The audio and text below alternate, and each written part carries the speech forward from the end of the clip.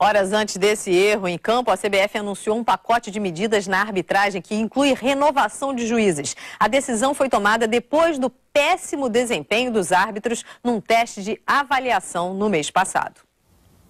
O processo de renovação do quadro começa já no mês que vem, quando 25 jovens árbitros vão se reunir durante uma semana na Granja Comari.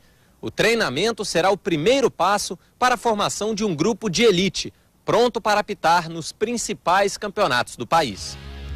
416 árbitros e assistentes foram avaliados e apenas 45% obtiveram nota maior do que 7.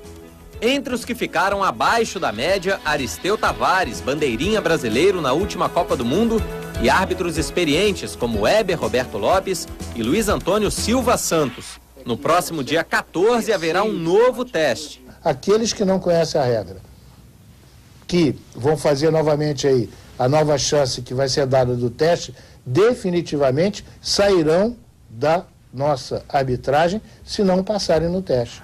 A CBF anunciou um pacote de medidas. Algumas serão adotadas já nas próximas rodadas do Campeonato Brasileiro.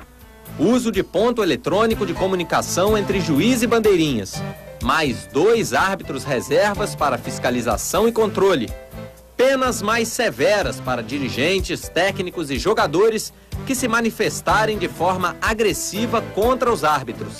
Avaliação igual para homens e mulheres e investimento na formação de novos árbitros. Uma nova geração de juízes entre 25 e 33 anos que devem alterar em até 40% o atual elenco já a partir do ano que vem. Comecem a trabalhar mais forte na questão física, na questão teórica que nós vamos apertar.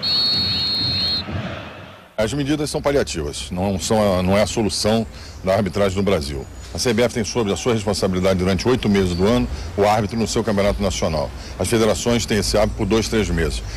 Teriam que inverter. A CBF teria que formar e acompanhar o árbitro e não o sistema como existe hoje, que a federação tem essa responsabilidade. O Rio de Janeiro, que foi um dos melhores estados em termos de arbitragem no Brasil durante muitos anos, hoje, nesse provão que foi feito pela CBF, foi o 18º colocado. É a prova da falência na formação do árbitro.